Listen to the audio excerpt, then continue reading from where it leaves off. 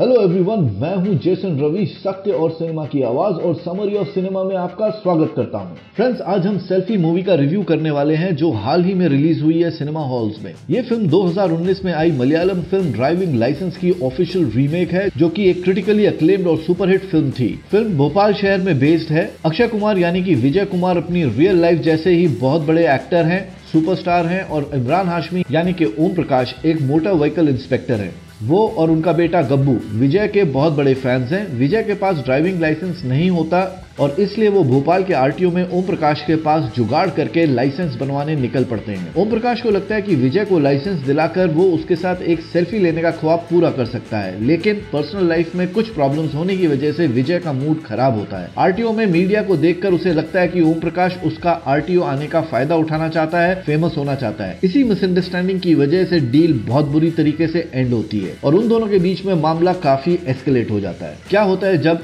जिस इंसान को आप पूछते हैं, उसके ही साथ आपकी दुश्मनी हो जाए। ये देखने के लिए आपको देखनी होगी फ़िल्म थिएटर्स में। इस फ़िल्म को डायरेक्ट किया है राज मेहता ने, जिन्होंने इससे पहले गुड न्यूज़ और जुग जुग जियो जैसी अच्छी फ़िल्मों को डायरेक्ट किया है। इस फ़िल्म को प्रोड्यूस किया है Dharma Productions Prithviraj Productions Magic Frames और केप ऑफ़ गुड फ़िल्म ने। चलिए पहले फ़िल्म के पॉजिटिव के बारे में बात करते हैं। जब भी दो अच्छे कैरेक्टर्स एक दूसरे के सामने आते हैं तो नेक्स्ट लेवल का एंटरटेनमेंट ऑडियंस को देखने को मिलता है। फिर चाहे वो आरआरआर में रामचरण और एनटीआर के बीच में हो या यहाँ पर अक्षय कुमार और इमरान हाशमी के बीच इस फ़िल्म में इमरान हाशमी और अक्षय कुमार की जितनी तारीफ़ करें, उतनी ही कम है, क्योंकि दोनों ने ऑडियंस को एंड तक एंगेज करके रखा अपनी अच्छी परफॉर्मेंस से। अक्षय कुमार की कॉमिक टाइमिंग इमेक्यूलेट थी और इमरान हाशमी ने जो भोपाल की एक्सेंट पकड़ी है, वो लाजवाब है। एकदम नेचुरल लगती है। ड्राइविंग लाइसेंस फ़िल्म की स्टोरी ऑलरेडी अच्छी थी, लेकिन डायलॉग राइटर ऋषभ शर्मा की भी तारीफ़ करनी पड़ेगी, क्योंकि ये स्टोरी को उन्होंने बहुत अच्छी तरीके से हिंदी में अडेप्ट किया है और उनके लिखे गए ज़्यादातर जोक्स वर्क करते हैं। इसके अलावा हमको सबसे ज़्यादा पसंद आया अभिमन्यु सिंह का कैरेक्टर एज सूरज दीवान। जितना डम था, उनका कैरेक्टर उतना ही फनी भी था। सबसे ज़्यादा उन्होंने ही हंसाया फ़िल्म में। अब फ़िल्म के नेगेटिव की बात करते हैं। फ़िल्म की शुरुआत काफ़ी धीमी होती है, तकरीबन तीस मिनट लगते हैं ड्रामा शुरू होने में। तब तक बस चलने के लिए ही चीज़ें चल रही होती है। ऊपर से कुछ सीन्स बहुत चीजी और क्रिंजी भी लगते हैं।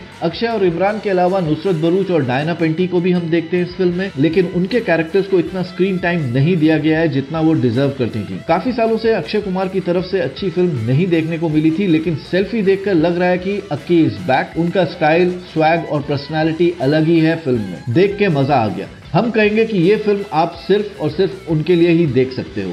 सो वेल फ्रेंड्स ये था फ़िल्म सेल्फी का रिव्यू आपके लिए। कोई थॉट्स हो तो कमेंट्स में बताना। अगर लाइक सब्सक्राइब और नोटिफिकेशन बेल दबाई है तो गॉड ब्लेस यू और अगर नहीं दबाया तो प्लीज़ दबा दीजिए और हमारे एफर्ट्स को सपोर्ट और इनकरेज कीजिए। रिव्यू को अक्षय कुमार और इमरान हाशमी के फ़ैन दोस्तों के साथ ज़रूर शेयर करें। फ़िलहाल के लिए मैं जेसन रवि विदा लेता हूँ। थैंक यू शुक्रिया और जय हिंद।